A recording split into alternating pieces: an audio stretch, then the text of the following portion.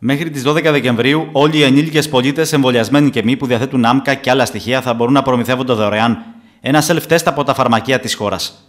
Ξεκίνησε συγκεκριμένα τη Δευτέρα 16 Δεκεμβρίου η διανομή των αυτοδιαγνωστικών τεστ self-test με στόχο την καλύτερη δυνατή καταγραφή της επιδημιολογικής εικόνας της χώρας και την αποφυγή της διασποράς του κορονοϊού κατά την περίοδο των εορτών, όπως ανακοίνωσε το Υπουργείο Υγείας.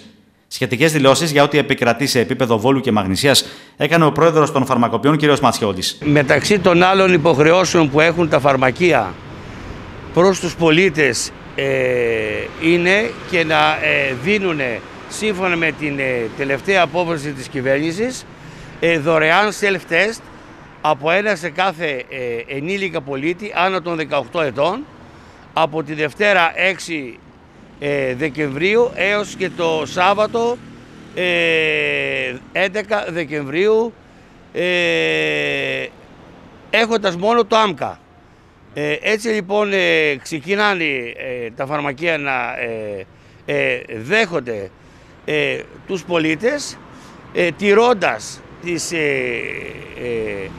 ε, διατάξεις της, ε, ε, που ορίζονται από την πανδημία για την απόσταση καθώς επίσης και τον αριθμό ατόμων εντός φαρμακείου εν ώρα δουλειάς μας, εν ώρα διενέργειας πιθανών και rapid test στο φαρμακείο, εν ώρα ε, συμβουλή και εκτέλεση μιας ε, συνταγής στον πολίτη, εν ώρα προσπάθειας του συναδέλφου να βρει το φάρμακο που είναι σε έλλειψη που ούτως ή άλλως υπάρχουν και ζουν και βασιλεύουν οι ελλείψεις η κυβέρνηση θεώρησε σωστό να δώσει και ακόμη μία δραστηριότητα, παύλα υπηρεσία όπως θέλουμε την ονομάζουμε στους φαρμακοποιούς σε έναν ιδιωτικό φορέα παροχής πρωτοβάθμιας φροντίδας υγεία που όλο αυτό το διάστημα είναι πραγματικά στην πρώτη γραμμή.